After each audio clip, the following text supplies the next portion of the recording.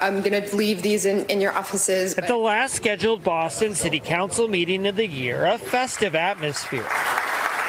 There were gifts, smiles, and group pictures, but also tension over a holiday party not everyone on the city council was invited to. And I don't get offended. You don't want me at a party, I'm not going to come to a party. So, you know. It all started with this email sent out by a city staffer on Tuesday on behalf of Mayor Michelle Wu, inviting all city councilors to an Electeds of Color holiday party on Wednesday night. About 15 minutes later, the same staffer sending out an email apologizing for sending out the invite to all city councilors. The mayor saying the party is just intended for minority elected officials. There are many, many events that are private events for all different sorts of groups, and so we've clarified that and look forward to seeing everyone at uh, one of the other dozens of opportunities to celebrate that. All right, my friends, get ready because it's showtime. I got another great video. I'm continuing the crazy saga of Boston Mayor Michelle Wu. As you may know by now, this mayor has decided to have a colored only, a electors of color is what she called it, Christmas party, which basically means if you look like me,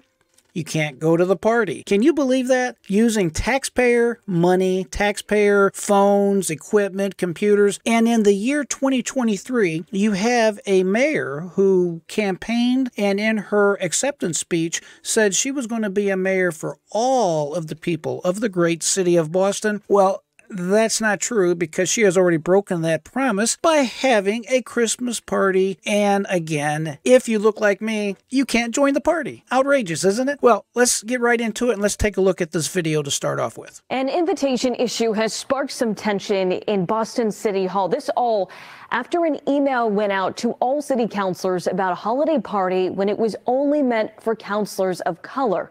Our NBC 10's Eli Rosenberg joining us live outside City Hall. Eli, how is Mayor Wu reacting tonight? Priscilla, Boston Mayor Michelle Wu says this is a party that has been held for more than a decade without any issues.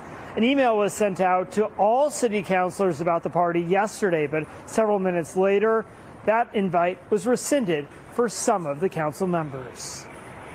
I'm going to leave these in, in your offices. At the last scheduled Boston City Council meeting of the year, a festive atmosphere. There were gifts, smiles, and group pictures, but also tension over a holiday party not everyone on the city council was invited to. And I don't get offended. You don't want me at a party, I'm not going to come to a party. So, you know. It all started with this email sent out by a city staffer on Tuesday on behalf of Mayor Michelle Wu, inviting all city councilors to an Electeds of Color holiday party on Wednesday night. About 15 minutes later, the same staffer sending out an email apologizing for sending out the invite to all city councilors. The mayor saying the party is just intended for minority elected officials. There are many, many events that are private events for all different sorts of groups, and so we've clarified that and look forward to seeing everyone at uh, one of the other dozens of opportunities to celebrate that. That's not true, folks. They do not have events that are segregated solely on the basis of race. I've never heard of something to where a government has a meeting and says, oh, if you're white, you cannot attend this meeting. So that is not a true statement. If you know something I don't know, be sure to put in the comments below, but that's not true the holidays together. The mayor says the Electeds of Color holiday party has been held for more than a decade, and there's never been an issue before this. And two city councilors attending the event defending the party. It's not at all divisive. It's creating spaces for people and communities and identities with shared experiences to come together. I think somebody wanted to make this an inflammatory issue, and they've clearly succeeded. I have two microphones in my face asking me about an annual holiday party that we have, uh, and whether or not I should, you know, care about their feelings that there's a holiday party for people of color that they weren't invited to because they don't share those experiences. But Frank Baker, attending his last scheduled city council meeting, says the party sends a wrong message for a council long plagued by infighting. I think the holidays is a time for people, everybody to get together. So we'll see what happens, the way it goes. I do find it divisive, but, you know, what are you, you going to do about it? And that party is going on right now. The mayor said there are several other holiday parties in the coming days, and she hopes all city councilors come to one or all of those as this continues to unfold.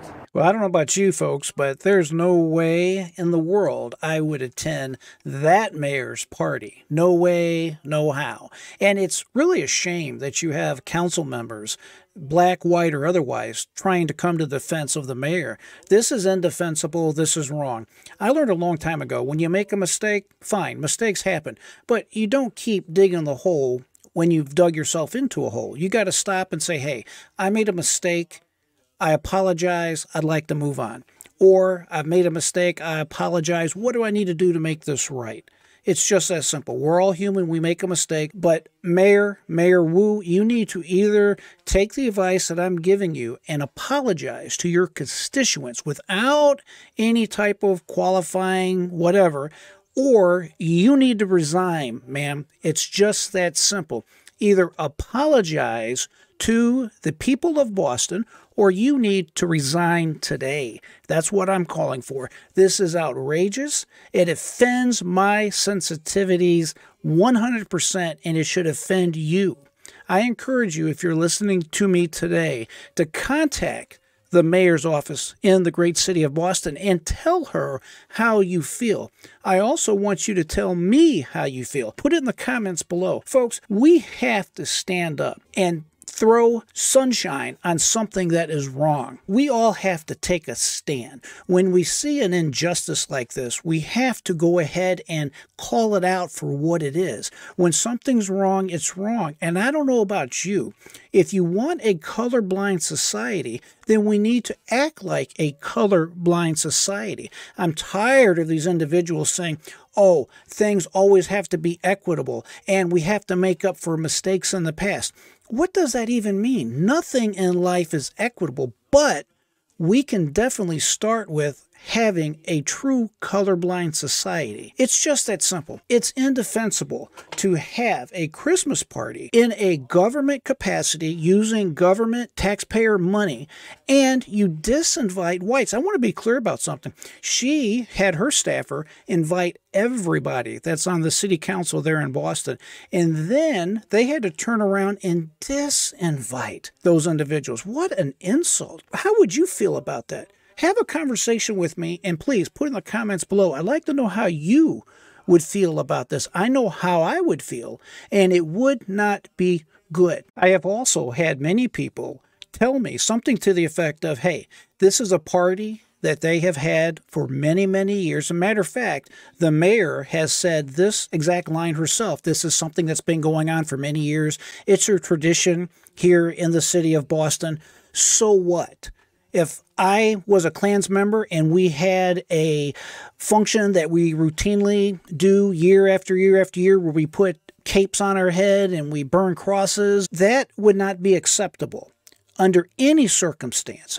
This type of party, this type of racist party should not be allowed. Christmas is a time to remember Jesus, our Lord and Savior. It's just that simple. It's a time to come together with family and friends. It's not a time to keep boxing people by their skin color or by some other racist criteria and then cause problems for everybody like this. It's wrong. It needs to be called out for what it is and it needs to stop. I want to leave you with one other final thought. The Chief Justice of the United States Supreme Court, John Roberts, a while back said the following, and I'm paraphrasing, but he did say if you want to stop dividing people by race and, in effect, put a stop to racism, then you need to stop segregating people by race. What a novel and exciting idea.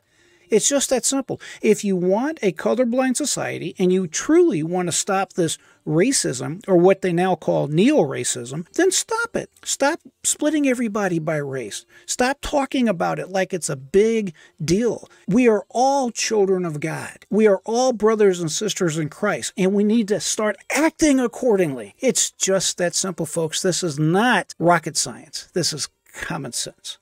Let me know how you feel. Let me know what you're thinking this Christmas season. I wish everybody out there peace, love, and joy in this holiday season. Always, folks, keep that mind free. Never give up. I am J.R. Dukes.